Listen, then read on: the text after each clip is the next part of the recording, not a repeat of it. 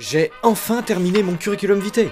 Mais plutôt que montrer que je sais faire ceci, je sais faire cela, si je vous présentais ce que je ne sais pas faire. Je ne sais pas parler allemand, c'est vrai. Je ne sais pas non plus jouer du ukulélé, ni même lever un seul de mes sourcils.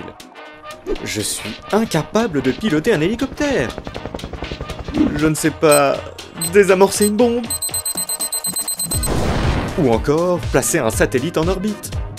Mais ce n'est pas grave, parce que je peux faire tout cela dans mon imagination, même si ce n'est pas écrit sur mon CV.